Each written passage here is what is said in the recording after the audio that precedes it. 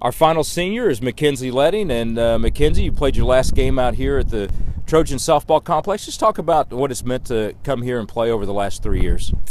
Uh, over the last three years, it's been pretty great. I came from a place where I wasn't having fun playing softball anymore, so when I decided to come here, it ended up being just a blessing. And the girls are great. I gained like a family, and at the end of the day, when softball, if it goes well or not well, um, I still have them. So it's a great support system and great group of girls.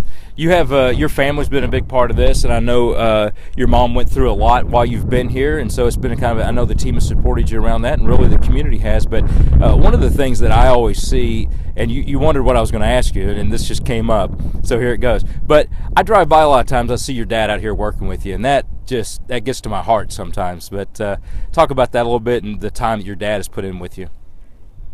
Uh, my dad.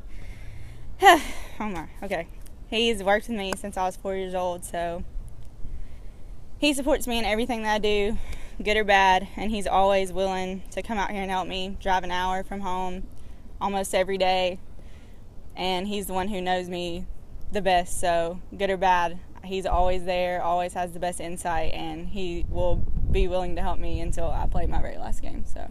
And uh, your mom, I know your mom has. Uh, I've gotten some emails from her from time to time, and I've seen a lot of people communicating with her. Just talk about what it's meant to to have the support around her and, and through this team because it, it is more than softball, isn't it? When you uh, when you talk about this team. Mm-hmm. Um, when all that happened, I pretty much lost it there for a little while, but every day I had girls calling, checking up, texting, always there just for a hug in the hallway, anything. And they were always there to talk and listen and cared about me as a person and about my family. So, like I said, um, yes, softball's fun. Yes, softball's great.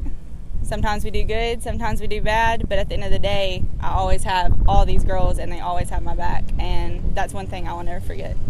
Well, good luck with the uh, rest of the season. You guys got some work to do, got some more hits to get, and uh, we uh, we wish you the best over the rest. And you guys always do represent us very well, and we appreciate that.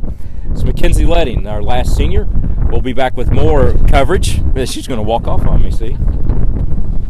And that'll be it.